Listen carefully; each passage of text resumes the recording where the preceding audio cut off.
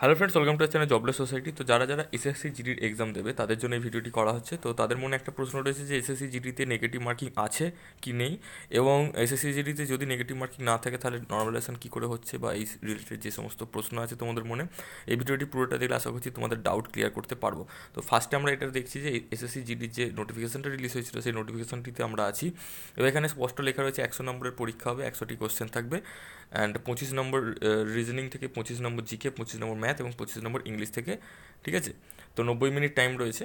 And এখানে দেখো এখানে কোনো নেগেটিভ নাম্বার আছে কি নেই, এখানে কিছু লেখা নেই, ঠিক আছে? তো যখনই এসএসসি কোনো রকম যে কোনো পরীক্ষা এসএসসি সিজিএল বলো এসএসসি এমটিএস বলো, যে কোনো পরীক্ষা যখন নোটিফিকেশন রিলিজ করা হয়, তার তলায় কিন্তু লিখে দেওয়া হয় যে তাতে নেগেটিভ মার্কিং আছে। পয়েন্ট টু ফাইভ করে নেগেটিভ মার্কিং থাকে এসএসসি এসএসসিতে বাট এসএসসি জিডির আমরা যদি প্রিভিয়াস দেখি প্রিভিয়াসে যত এসএসসি জিডির এক্সাম হয়েছে, তাতে কিন্তু নেগেটিভ মার্কিং ছিল না। তো এসএসসি যখনই যে কোনো পরীক্ষা কিন্তু প্যাটার্নটা ঠিক ফলো করে। যেহেতু এসএসসি জিডি প্রিভিয়াসে নেগেটিভ ছিল না এবং নোটিফিকেশনে নেগেটিভের কথা উল্লেখ করা হয়নি, তো এটাকে না এটা অবশ্যই ভাবা যায়, ভাবা যেতে পারে বা এই অবস্থা আমরা স্থির হতে পারি যে এসএসসি জিডির যে এক্সামটা হবে বা হতে চলেছে, সেটা হচ্ছে নেগেটিভ মার্কিং থাকবে না, ঠিক আছে? তবু আমি বলব পরীক্ষা যখন স্টার্ট হবে ভালো করে যখন ইনস্ট্রাকশন পেজটা যখন আসব, ওটা একটু পড়ে নিও। আশা করছি ওখানে তোমাদের ডিটেলস লেখা থাকবে।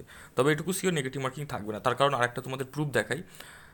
এসএসসি জুনিয়র ইঞ্জিনিয়ার যে নোটিফিকেশান রিলিজ হয়েছে, ওখানের আমরা নোটিফিকেশনটা একবার ছোট্ট করে দেখে নেব।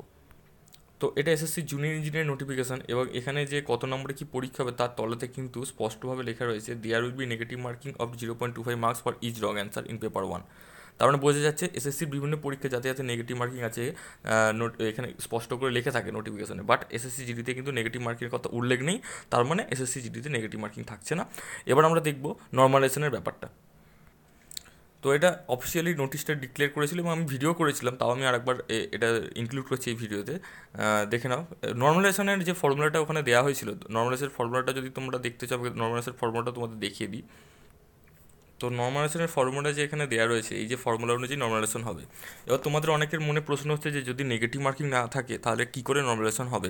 এবং অনেকে বলে যে নেগেটিভ নেগেটিভ মার্কিং নাকি নর্মালাইজেশনের ফ্যাক্টর তৈরি করে অ্যাকুরেসি একটা ফ্যাক্টর তৈরি করে। বাট এটা তখনই ফ্যাক্টর তৈরি করবে যখন ফর্মুলাতে নেগেটিভ মার্কিংয়ের কোনো ফ্যাক্ট থাকবে। যদি ফর্মুলাতে কোনো নেগেটিভ মার্কিংয়ের ফ্যাক্ট না থাকে, তাহলে কী করে ফ্যাক্টর তৈরি করবে নেগেটিভ মার্কিং বা অ্যাকুরেসি রেলের গ্রুপ ডি থেকে শুরু করে অনেকে ভিডিও আমি দেখছিলাম, অনেক ভিডিওতে বলছে যে অ্যাকুরেসি এফেক্ট করে বাট অ্যাকুরেসি এখানে এফেক্ট করবে না বাট কেন এফেক্ট করবে না? কারণ এখানে ফর্মুলাতে অ্যাকুরেসির কোনো ব্যাপারই নেই। তাহলে অ্যাকুরেসিটা কীভাবে এফেক্ট করতে পারে? এটা সিম্পল লজিক তো এখানে তোমরা যে ফর্মুলা যে দেওয়া রয়েছে ফর্মুলার প্রত্যেকটার ভ্যালু মানে কী কী হতে পারে সেগুলো দেওয়া রয়েছে। এখানে কিন্তু নেগেটিভ মার্কিংয়ের ব্যাপারে কিচ্ছু উল্লেখ করা নেই। কোনো নেগেটিভ মার্কিংয়ের ফ্যাক্ট এখানে নেই, ঠিক আছে? তো নেগেটিভ মার্কিংয়ের ব্যাপারটা এখানে আসছে না। এখানে কোশ্চেন ডিফিকাল্টি লেভেল কী আছে? ওই শিফটে তোমার যে শিফটে পরীক্ষা পড়েছে, ধরে নাও কালকের ফার্স্ট শিফটে তোমার পরীক্ষা হয়েছে। ওই শিফটে অ্যাভারেজ নাম্বার কী গেছে? ওই শিফটের হায়েস্ট নাম্বার কী গেছে? টোটাল ওই দিনের হায়েস্ট নাম্বার কী গেছে? সারা পরীক্ষার হায়েস্ট নাম্বার কী গেছে? সারা পরীক্ষার অ্যাভারেজ নাম্বার কী গেছে এই সমস্ত কিছু ফ্যাক্টরের উপর নির্ভর করে নর্মালাইজেশন হয়। তো এসএসসি জিডিতে নর্মালাইজেশন হচ্ছে, তাতে কোনো নেগেটিভ মার্কিং নেই বলে কোনো এফেক্ট পড়বে না, ঠিক আছে? যেরকম ফর্মুলায় নর্মালাইজেশন হওয়ার কথা, সেরকম ফর্মুলাতেই নর্মালাইজেশন হবে। যেরকম নাম্বার কমা বাড়া হয় গ্রেডের গ্রুপটি তো আমরা দেখছি এবং লোকোপাইলটও দেখেছি। তো সিমিলার ওয়েতে সেই ফর্মুলাটি ইউজ করা হচ্ছে, তার কারণ অবশ্যই ভেন্ডার এখানে হচ্ছে টিসিএস কারণ রেলের গ্রুপ ডি থেকে শুরু করে লোকো পাইলট এবং এমনকি এসএসসি সমস্ত এক্সাম এখন টিসিএসই কন্ডাক্ট করছে, ঠিক আছে? তো সেম ফর্মুলা ইউজ করা হচ্ছে, এটা নিয়ে কোনো ডাউট নেই। তো একবার আমরা এসএসসি জিডির নোটিফিকেশানটা একবার দেখে নিই। তো এসএসসি জিডিতে এখানে স্পষ্ট বলে দেওয়া রয়েছে, এগারোই ফেব্রুয়ারি থেকে পরীক্ষা স্টার্ট হচ্ছে, এগারোই মার্চ পর্যন্ত পরীক্ষা চলবে। নর্মালাইজেশন কখন হয়? যখন একের অধিক শিফটে পরীক্ষা হয়। একের অধিক শিফটে পরীক্ষা হলে question set set different different হয়ে যায় না? তো কোনো শিফটে হয়তো সোজা কোশ্চেন এসে গেলো, কোনো শিফটে কঠিন এসে গেলো। তো যে সোজা শিফটে পরীক্ষা দিল সে বেনিফিট বেশি পেয়ে গেল। হার্ড শিফটে যে পরীক্ষা দিল, তার বেনিফিট কম হলো। তো এটা কখনোই হতে পারে না, তার জন্যই নর্মালাইজেশন করা হয়। যে সোজা শিফটে পরীক্ষা দিয়েছে, তাকে নাম্বার হয়তো একটু কমিয়ে দিল। আমি একটা লজিক দেবো যে নাম্বার কমিয়ে দিল, যে হার্ড শিফটে পরীক্ষা দিয়েছে, একটা মেজারমেন্ট করে তাকে নাম্বার বাড়িয়ে দিল। সেই মেজারমেন্টটা কী হবে? সেটা ওই ফর্মুলা ইউজ করা হবে ফর্মুলায় নাম্বার টাম্বার অ্যাড করে করা হবে। সেটা নিয়ে তোমাদের ভাবতে হবে না। খালি এটা মনে রাখবে নর্মালাইজেশন রয়েছে এবং নেগেটিভ মার্কিং নেই।